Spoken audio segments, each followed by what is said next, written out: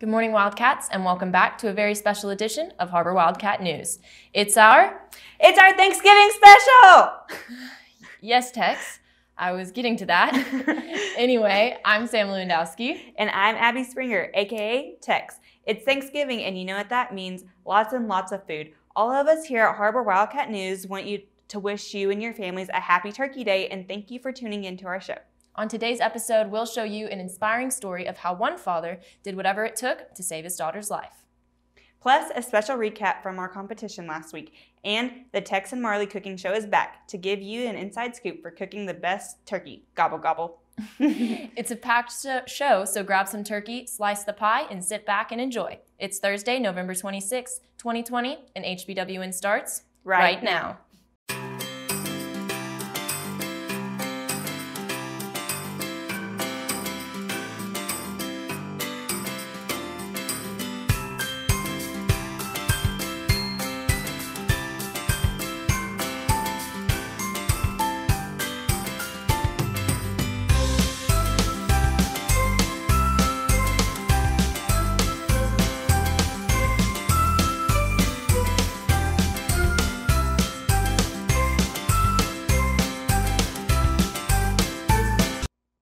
Thanksgiving brings many things to be thankful for family, food, your pets.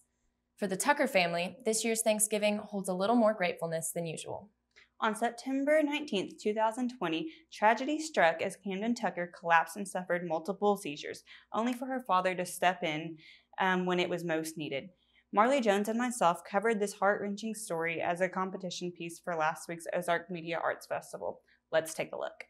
1.3% of children in the U.S. has heart disease. The odds of that happening in Springdale is astronomical. But one family very close to our community faced those exact horrors just a couple of weeks ago. Uh, we were in Salesville, Arkansas, trout fishing. Mid late afternoon, we walked up to our cabin and started cooking dinner. Maybe five minutes later, her brother runs out and says something's wrong with Camden.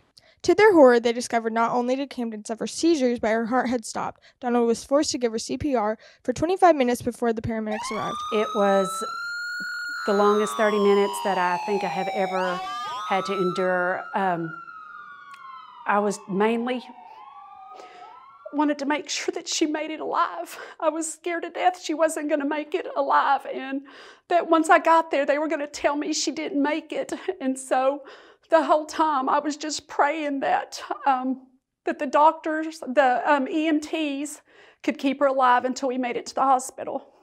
Camden's heart had stopped for an entire hour. Doctors also reported she had a less than 1% chance of surviving, but after 14 days, she made a miraculous recovery. I think it really makes me appreciate like the little things, like even when I get annoyed at my brother or whatever, like it's something that you don't realize. Like in the moment, you're really mad about it or frustrated or whatever but like you would miss it. It's moments like these that help us appreciate the little things. And for Camden, her game changing moment came from two people that have been there her entire life. Um, I'd just like to say thank you to my dad and my mom, who also did CPR, and just everyone who worked together to help me be where I am today. And even though I had a less than 1% chance of surviving, just thank you to everyone who was supportive of me and helped me throughout all of it. With a 1% chance of survival and her heart stopping for an hour, she bestowed the nickname Miracle Cam, all because of the game changing decision of Donald and Stephanie Tucker. Reporting for HBWN, I'm Marley Jones. That is truly a miracle, and how grateful Camden must be to have a father like Donald. Camden is currently back home in physical therapy, having only suffered minor brain damage after going without oxygen for an hour. Wow. That story was made over the course of 48 hours last week during the Ozark Media Arts Festival and took first place. OMAF is a film festival located right here in Springdale, Arkansas that gives students the opportunity to connect education with industry. This year's festival was completely virtual and students from Har-Ber competed remotely on multiple on-site competitions including convention recap.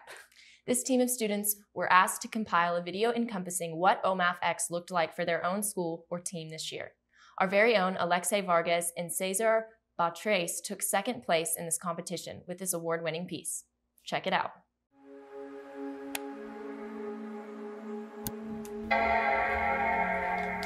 Welcome to OMAF 2020, a unique experience where we get to create, connect,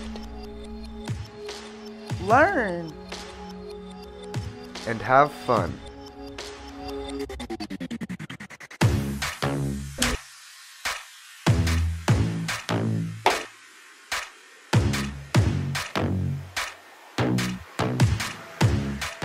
You get to have fun, maybe spend time doing what you like. I want to be an actor. I want to be an actor so bad. I'm gonna be top class. I'm gonna be like one of the best actors there ever was. And I mean, this class helped me like edit, shoot, all that stuff. This class has opened a lot of like opportunities up for me. For example, this right here, OMAF. Now y'all watching, I see y'all. Uh, opportunities like uh, being in OMAF X, my first competition for television. I think it's helped me shape my future because uh, when I grow up, I want to um, be an editor for um, a film company maybe, or maybe work with cameras and shooting and audio, stuff like that. I feel like the film industry really furthers the education, especially through the use, you know, now a lot of things are online. Film helps with education just with being develop, develop communication skills between teammates or classmates or, or crewmates or anything like that. OMAF is an opportunity to allow students to compete, to, to network, to build relationships, and to prove that they actually mean something in this industry, that what they do matters. In the almost 10 years that I've been a part of this festival, I've seen uh, the festival grow from a very small conceptual idea to one of the biggest festivals in the entire region. Uh, we're providing that opportunity. There's so many different competitions from photography to broadcast to film to editing. Uh, this really shows that students have the opportunity to be successful after high school.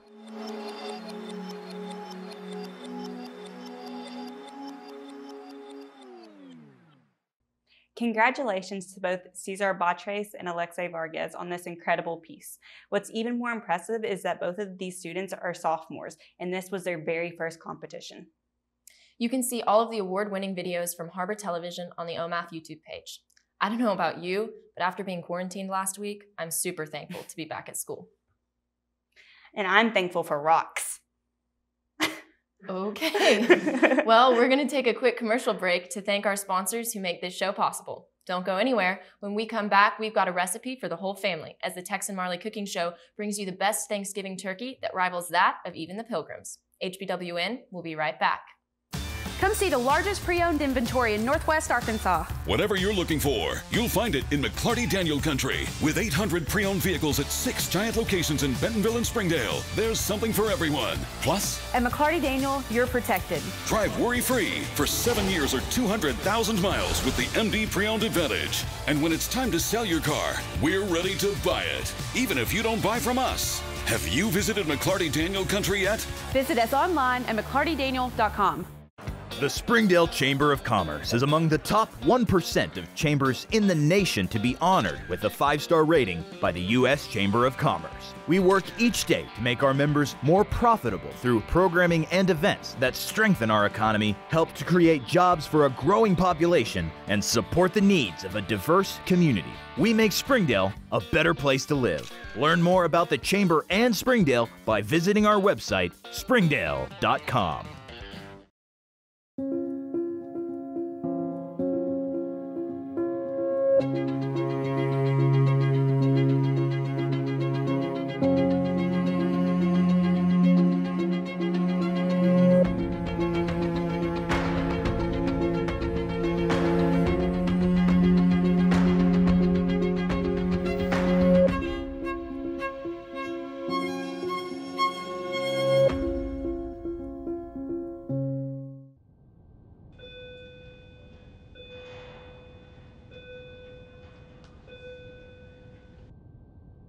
Hey, Nick, catch.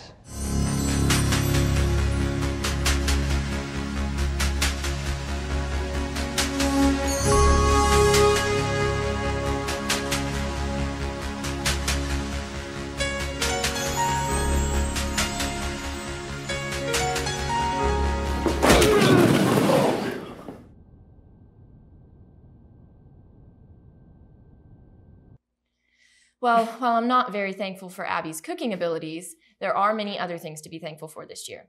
I decided to sit down with some of our crew members to test their knowledge on the very first ever Thanksgiving and how this tradition originated in the United States. Let's just say our, our history teachers are going to be extremely disappointed. We apologize in advance. Thanksgiving, pilgrims, Native Americans, now is a time in our country that we really see the world come together, but the history of Thanksgiving for some is just unknown. So, can you talk to me about when the Pilgrims came to America? What was it like for them? Uh, it was probably about like four or five years ago. Oh, okay. Um, can you talk to me about who led them here? You know, the man that discovered America. Mm, I don't know. Okay, um, this is gonna be harder than I thought. Just so you know, his name's Christopher Columbus. Yep. Mm -hmm. Could you tell me a little bit about who he was and, and the impact he had on our country? Basically, what I say is a random dude started out normal and um, was like, hey, you want to learn some stuff? They traveled around for ages, just looking for somewhere to like chill because everybody kept taking their spots. So it was like, hey, this is a good spot. And some Native Americans were here and they was like, ooh, but I already caught the boys. And boom. Anyway, you mentioned that they traveled all over. How did they do that? How did they get to this new land after traveling all those miles? Um, Tesla, you know, they drive themselves. Why? Because Elon Musk made them. All right, okay, we're just gonna move on. So they traveled to this new land, America, but where did they come from? What countries did they escape? Why were they leaving? Um, maybe, probably Bora Bora. Probably Canada. Or, yeah, probably Canada. All right, so they finally got here after coming from wherever the heck they came from, although I'm pretty sure it was Britain. What was it like once they got here? What, what did they experience? Um, can't really describe it. I just know it's very tragic, very treacherous, and very heartbreaking for a lot of people. And just I guarantee it probably gave a bunch of people PTSD for what happened, and they can't ever like forget on what happened, especially if you like you had like family members on that day that died or something like that. They're just all like traumatized by it. Okay, moving on. Let's talk about the first ever Thanksgiving. What did it look like?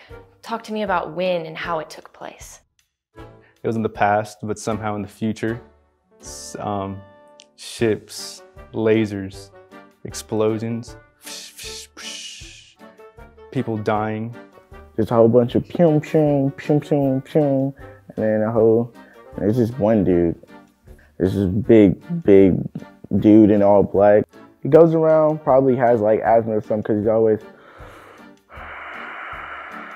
he's always like breathing weird and stuff. So I'm like, basically. It's like multiple parts to it. You beat a bunch of feet, um, clone, whatever they're called. I don't know what they're called, but white dudes. Actually, that sounds racist. Um, dudes in white, they could be black underneath. Who knows? Okay, just talk to me about the first ever Thanksgiving feast. You know, the meal that the pilgrims shared with the Native Americans and a great deal of camaraderie, coming together, overcoming triumphs. What, what was that like? Basically, they was just like coming around, they was like just chilling and stuff, and they was like, hey, pilgrims was like, hey, there's a turkey right there. He's like, what about him? He's like, looks pretty tasty to me. And then he's like, well, eat them. He's like, that sounds like a good idea. So they like chopped his head off, did everything, prepared them, and started eating. It was like, actually, this is really good. We should start doing this every single year. And that's how it really happened. Okay. Um, let's just talk about the food that they ate. What, what was the meal like? What foods did they indulge in all the way back then? Mexican food. some dude ate a bat. Chinese. Chinese, Chinese, Chinese. That's all I can say. Is there anything else that you'd like to add?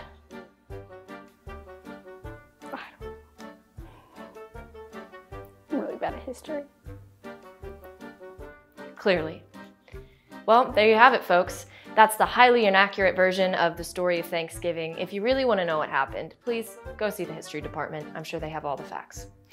Otherwise, I'm Sam Lewandowski signing off. We'll see you at Christmas. I really need to start going to history. We're going to take another quick commercial break, but when we come back, it's the moment you've all been waiting for our annual Wildcat News Pie Eating Contest. Don't go anywhere. HBWN will be right back.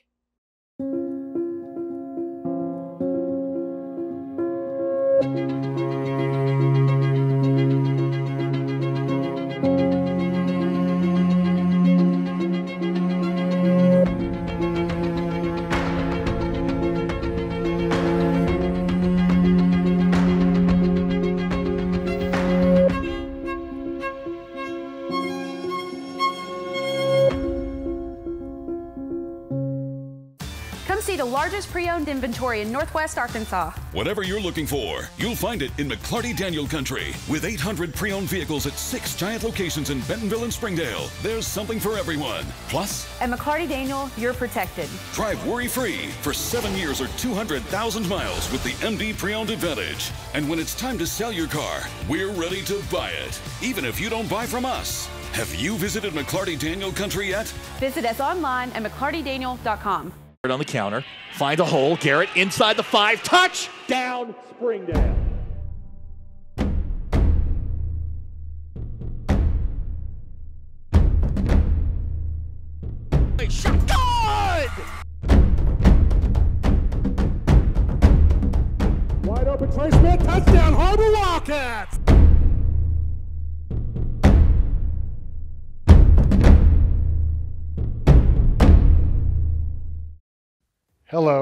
My name is Donald Tucker. I'm the owner and award-winning pitmaster of bbqfunding.com. I'm here today to tell you we are the company that runs the last fundraiser you will ever need. For 15 years, I have competed across the country in competitions like Bikes, Blues, and Barbecue, as well as the American Royal. And now we want to use our talents to bring you competition quality, fully cooked, slow hickory smoked barbecue to meet all your fundraising needs. Through bbqfunding.com, we can show you how to raise all the money your team, organization, even your entire school. And what if I told you it only takes one minute a day? When was the last time you didn't have to worry about how you were going to pay for the things you needed, let alone the things you wanted? bbqfunding.com can deliver that for you. You don't have to carry around an order form, collect any money, handle any products, or go door to door. That's right, this fundraiser is also pandemic safe. Our team does all the work for you, and all you have to do is give us one minute a day. I want to personally thank each and every one of you for the opportunity to help continue to not only serve you, but also your community. My passion is serving others, and I'm dedicated to you and investing in your future. So take the leap and join the movement that is BBQ Funding.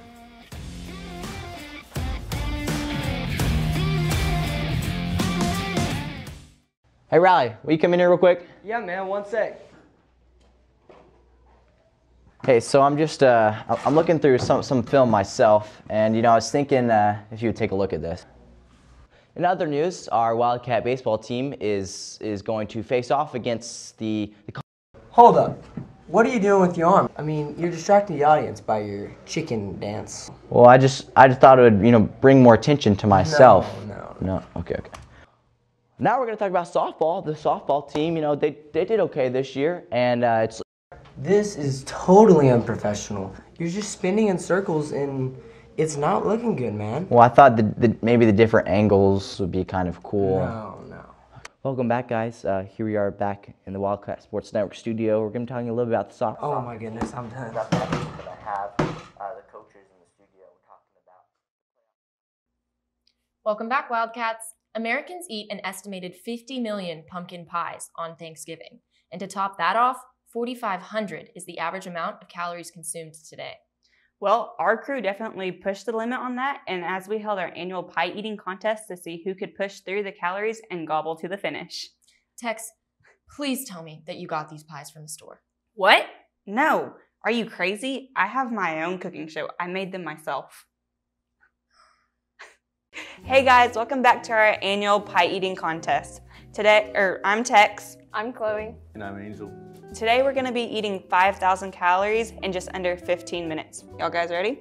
Let's do this. No. All right. Okay. Oh, we're start. Yeah. Ready? All right. Three, two, one.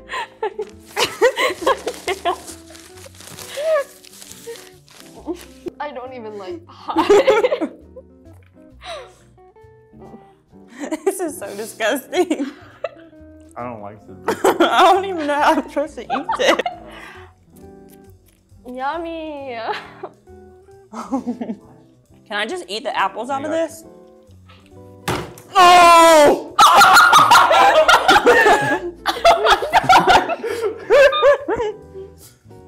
hair.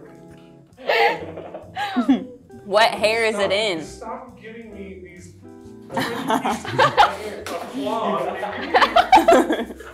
Are you are you sick yet? Me? Yeah, I was sick the first bite whenever it was got out of the refrigerator. Oh my gosh, we didn't pray over our food. okay. Say a prayer, Abby. No, I think he wants you to. Say a prayer. I, I'm fairly positive that he wants you to. Dear Jesus, thank you for the disgusting pie.